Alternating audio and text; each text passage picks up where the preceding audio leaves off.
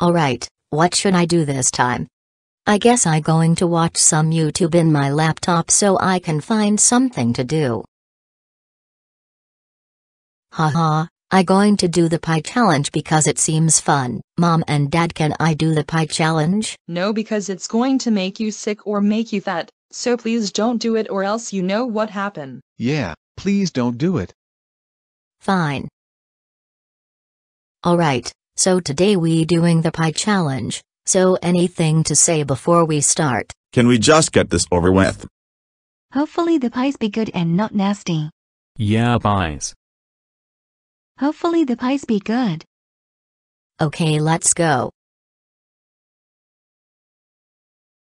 Man, that pie was good. It tasted okay. That was good. But dang, now I feel sick. The pie was bland. The pie was good but also kinda bad now I don't feel so good.